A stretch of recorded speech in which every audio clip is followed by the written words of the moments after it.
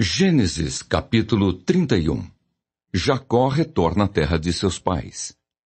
Então ouvia Jacó os comentários dos filhos de Labão que diziam, Jacó se apossou de tudo o que era de nosso pai, e do que era de nosso pai juntou ele toda esta riqueza. Jacó, por sua vez, reparou que o rosto de Labão não lhe era favorável como anteriormente.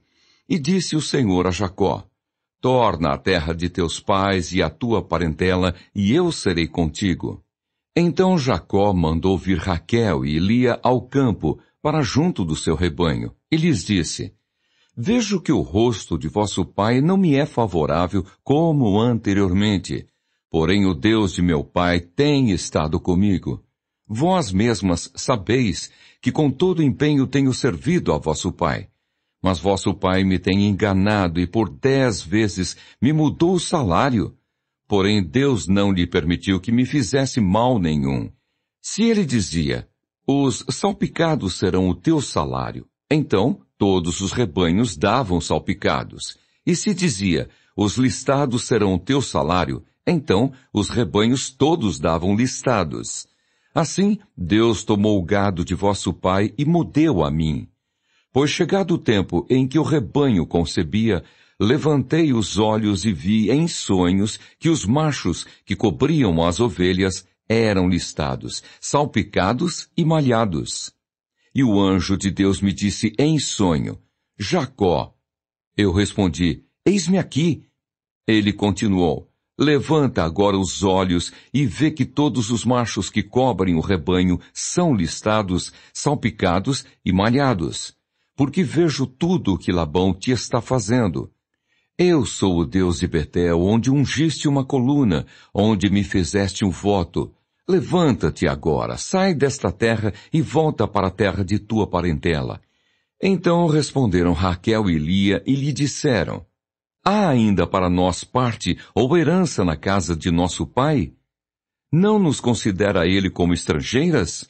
Pois nos vendeu e consumiu tudo o que nos era devido, porque toda a riqueza que Deus tirou de nosso pai é nossa e de nossos filhos.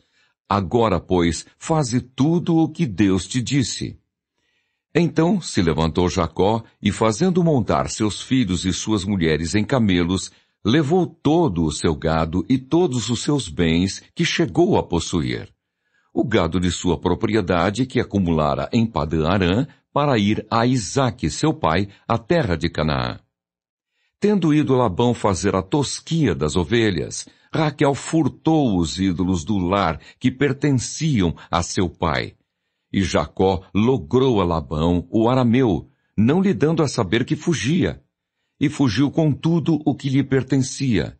Levantou-se, passou o Eufrates e tomou o rumo da montanha de Gileade. Labão segue no encalço de Jacó. No terceiro dia, Labão foi avisado de que Jacó ia fugindo. Tomando, pois, consigo a seus irmãos, saiu-lhe no encalço por sete dias de jornada, e o alcançou na montanha de Gileade. De noite, porém, veio Deus a Labão, o arameu, em sonhos, e lhe disse, Guarda-te, não fales a Jacó, nem bem, nem mal Alcançou, pois, Labão a Jacó. Este havia armado a sua tenda naquela montanha. Também Labão armou a sua com seus irmãos na montanha de Gileade.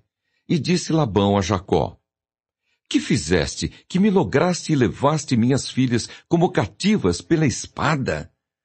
Porque fugiste ocultamente e me lograste, e nada me fizeste saber, para que eu te despedisse com alegria, e com cânticos, e com tamboril, e com harpa? E por que não me permitiste beijar meus filhos e minhas filhas? Nisso procedeste insensatamente. Há poder em minhas mãos para vos fazer mal, mas o Deus de vosso pai me falou ontem à noite e disse, Guarda-te, não fales a Jacó, nem bem, nem mal. E agora que partiste de vez, porque tens saudade da casa de teu pai, por que me furtaste os meus deuses? Respondeu-lhe Jacó, porque tive medo, pois calculei, não suceda que me tome à força as suas filhas. Não viva aquele com quem achares os teus deuses. Verifica diante de nossos irmãos o que te pertence e que está comigo e leva-o contigo. Pois Jacó não sabia que Raquel os havia furtado. Labão, pois, entrou na tenda de Jacó, na de Lia e na das duas servas, porém não os achou. Tendo saído da tenda de Lia, entrou na de Raquel. Ora, Raquel havia tomado os ídolos do lar e os pusera na cela de um camelo, e estava assentada sobre eles. Apalpou Labão toda a tenda e não os achou. Então disse ela a seu pai, Não te agastes, meu senhor, por não poder eu levantar-me na tua presença, pois me acho com as regras das mulheres. Ele procurou, contudo não achou os ídolos do lar. Então se irou Jacó e altercou com Labão e lhe disse, Qual é a minha transgressão? Qual o meu pecado que tão furiosamente me tens perseguido? Havendo apalpado todos os meus utensílios, que achaste de todos os utensílios de tua casa? Põe-nos aqui diante de meus irmãos e de teus irmãos, para que julguem entre mim e ti. Vinte anos eu estive contigo, as tuas ovelhas e as tuas cabras nunca perderam as crias, e não comi os carneiros de teu rebanho, nem te apresentei o que era despedaçado pelas feras. Sofri o dano, da minha mão o requerias, tanto o furtado de dia como de noite. De maneira que eu andava, de dia consumido pelo calor, de noite pela geada, e o meu sono me fugia dos olhos. Vinte anos permaneci em tua casa, quatorze anos te servi por tuas duas filhas e seis anos por teu rebanho. Dez vezes me mudaste o salário. Se não for o Deus de meu pai, o Deus de Abraão e o temor de Isaque, por certo me despedirias agora de mãos vazias.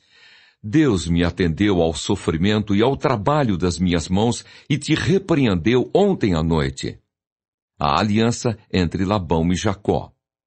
Então respondeu Labão a Jacó, as filhas são minhas filhas, os filhos são meus filhos, os rebanhos são meus rebanhos, e tudo o que vês é meu. Que posso fazer hoje a estas minhas filhas ou aos filhos que elas deram à luz? Vem, pois, e façamos aliança, eu e tu, que sirva de testemunho entre mim e ti. Então Jacó tomou uma pedra e a erigiu por coluna, e disse a seus irmãos, ajuntai pedras. E tomaram pedras e fizeram um montão, ao lado do qual comeram. Chamou-lhe Labão Jecar Saaduta. Jacó, porém, lhe chamou Galeede. E disse Labão, seja hoje este montão por testemunha entre mim e ti. Por isso se lhe chamou Galiede e Mispa, pois disse, Vigie o Senhor entre mim e ti e nos julgue quando estivermos separados um do outro. Se maltratares as minhas filhas e tomares outras mulheres além delas, não estando ninguém conosco, atenta que Deus é testemunha entre mim e ti. Disse mais Labão a Jacó, Eis aqui este montão e esta coluna que levantei entre mim e ti.